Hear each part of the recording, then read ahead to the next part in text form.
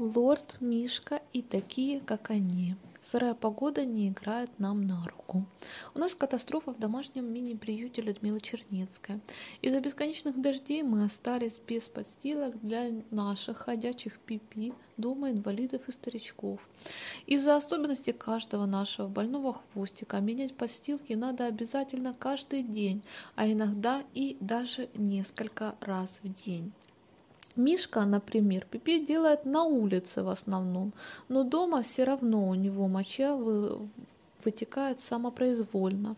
Памперсов на всех, к сожалению, у нас не хватает потому что есть и больные и котики, и собаки, поэтому и все пачкается у нас очень и очень быстро.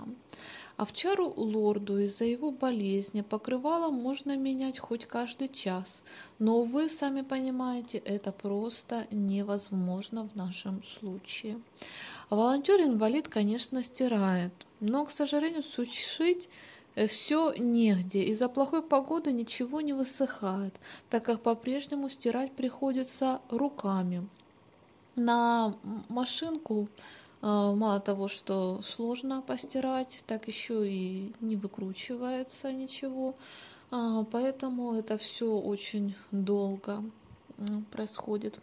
А выкручивать такие большие покрывала вручную женщине невозможно, да и силы у нее уже, если честно, не те.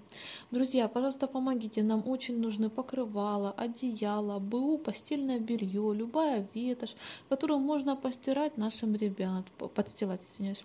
В приюте, к сожалению, большая часть животных, э, старики и больные хвостики, все проживают в доме, соответственно, и грязи, которую надо постоянно убирать, очень и очень много. Возможно, у кого-то дома есть старая, не нужно, а нам как раз пригодится любая ненужная ваша тряпочка. Пожалуйста, помогите приюту.